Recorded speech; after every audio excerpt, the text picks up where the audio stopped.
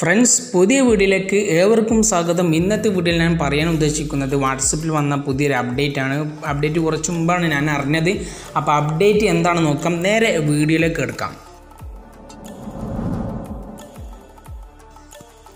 അതിന് ഞാൻ ഇവിടെ വാട്സപ്പ് ഓപ്പൺ ചെയ്യുകയാണ്.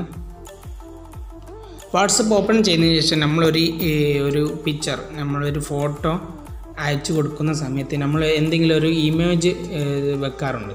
ഇത്തരത്തിൽ ഞാൻ ഇമോജിലൊന്ന് ക്ലിക്ക് ചെയ്യുകയാണ്. അപ്പോൾ ഇതാണ് അപ്ഡേറ്റ് അതായത് കുറച്ച് ചെറുതായിട്ട് നമ്മുടെ മൊബൈൽ ഫോണിലുള്ള നമ്മൾ നമ്മൾ ഡൗൺലോഡ് ചെയ്ത് വെച്ച അതായത് നമ്മുടെ ഗ്യാലറിയിൽ നമ്മളുടെ ഇമോജി സെഷനിലേക്ക് നമ്മൾ ഡൗൺലോഡ് ചെയ്ത് വെച്ച ഇമേജ് നമുക്ക് ഇവിടെ കാണാൻ സാധിക്കും. ഇത്തരത്തിൽ നമ്മുടെ മൊബൈൽ ഫോണിലുള്ള എല്ലാ ഇമേജ് പോലും സ്റ്റിക്കർ ആ സ്റ്റിക്കറൊക്കെ നമുക്ക് ഇവിടെ കാണാൻ സാധിക്കും. അത് അതുപോലെ തന്നെ ഇവിടെ നമുക്ക് സെർച്ച് ചെയ്തിട്ടും നമുക്ക് ഓരോ ഇമേജൊക്കെ എടുത്ത് നമുക്ക് ഇത്തരത്തിൽ ഫോട്ടോ ഒക്കെ അയച്ചു കൊടുക്കാൻ സാധിക്കുന്നതാണ്.